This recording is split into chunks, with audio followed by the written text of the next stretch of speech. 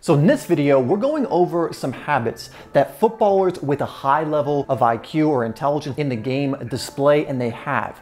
Now you might be displaying some of these or you might need to work on some of these, but to become aware of what makes up a smart player, a player that makes good decisions, a player that's intelligent on the pitch, it's a high football IQ, will only help you to be more like that player and learn to be more like that player. So we're going over what five of these habits are coming up next.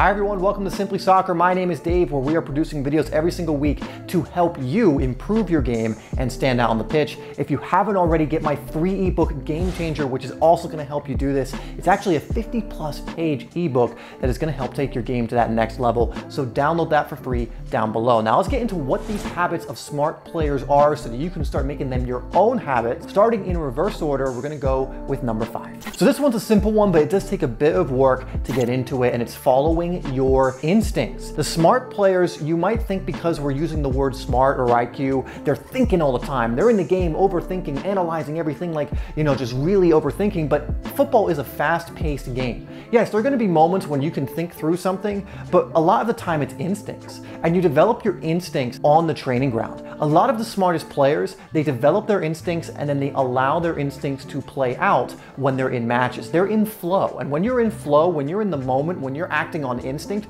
you react faster, you play better, and you typically make better decisions. And so you want to get to the point where you are working mainly on instinct. I know it seems counterintuitive, but you don't want to be thinking too much when you're in the match itself. Again, there'll be times like when you're taking a free kick or pauses in the match when you can think of something, when you can maybe come up with some sort of strategy, but really in real time, you don't have that much time to think. You have to act on instinct. In fact, in the comments, put I am a smart footballer. Make sure you align to that. You really try to go for that and make sure you're doing the things we go over in this video to become that more and more. Now let's get into number four. So number four is actually something that's gonna help you tap into your instincts more, and that's calmness under pressure. Two things happen when people get under pressure. They either go completely blank and they freeze up, and not blank in the sense of like, oh, now you can use your instincts. No, just completely freeze up and panic, or they overthink the situation and they believe that they're gonna be able to think their way out of it. And so when you remain calm, this gives you direct access to your instincts, your intuition,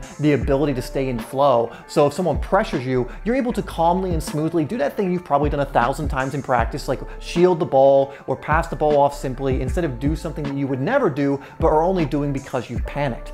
Being calm is one of the things that all smart players have developed to the level where it just seems like they're geniuses in certain situations, but they're just just doing what they know they can do and not feeling the pressure. Like how many times have we seen a Xavi or a Pirlo get out of a situation many of us go like, man, that's such a ballsy thing to do. Well, the reason is because they don't see it that way because they're calm. You know, if they were panicking in a situation, they probably wouldn't even try it, or if they did try it, they probably would lose it. Remaining calm is one of the smartest things you can do, and this is again a thing you can develop. Put yourself in pressure situations in your training and work on being able to get so good at this so that you have the muscle memory that when you're in those situations in matches, you know how to do it so well that you can keep your calm in those situations. If you're enjoying this video so far, getting some value out of it, please hit that like button and we'll move now on to number three. Number three is a big one and it's learn from your mistakes quickly and work to get better at them and not make them again. This is what the smartest players do because guess what? The smartest players still make mistakes. The difference is they don't get really too worked up about it.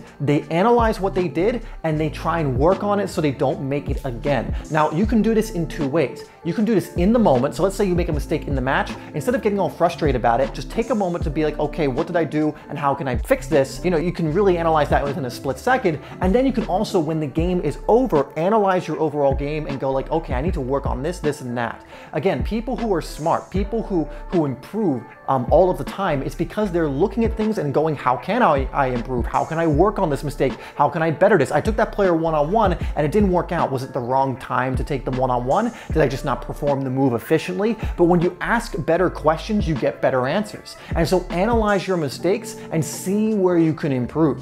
And usually the smartest players, they improve upon their mistakes quicker than other players. One, because they're looking at them, they're not getting too emotionally attached to them in a sense of like, oh, I don't even want to look at that, and they're feeling so bad about it. They're looking at it and going, how can I improve this? And if you can improve these mistakes quickly, you'll just become a better player faster and you'll be smarter because you'll know what works and what doesn't work for you. Number two is working intentionally on mindset and the mental side of the game. Now, I'm not gonna spend too much time on this because I harp on about this all the time, but obviously the smart players are working on the mental side. They know they have to be calm, they know they have to be confident, they know that in order to be a player that makes good decisions, they need to work not just on the physical side, but also the mental side. Now, I have a course called Complete Soccer Confidence if you really want help and a proven system to develop this. But you know, whether you get that or not, you really need to make sure you're doing something towards this and you're working on this like any other skill. Confidence, mindsets, um, the mental side of the game is a skill like anything else. And number one, another habit the smartest players do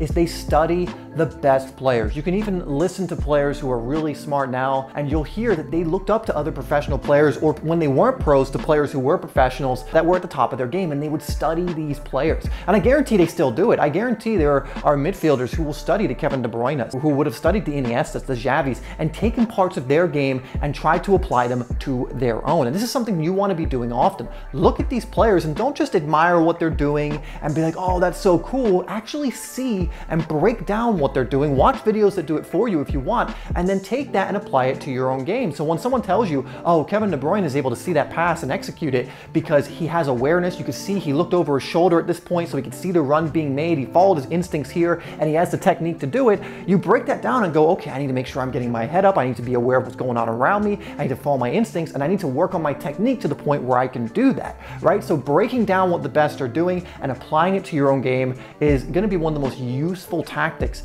that will help you become a smarter player because you can just look at what smart players are doing, break down what they're doing, and then apply it to your own game. Now, it will take take some time before you're able to do things in the same way, even close to the same way. But that's how you're gonna get better and smarter by studying these players and applying, more importantly, what they're doing into your own game. All right, guys, so those are five habits smart players use, and these are five things you can start applying to your own game to become a smarter player. Again, football IQ is a, a habit a lot of players don't think about and don't work on intentionally, but it's just gonna go so far to making you a better player if you apply it into your game. Anyway, thank you so much for tuning tuning into this video, and I'll see you in the next one.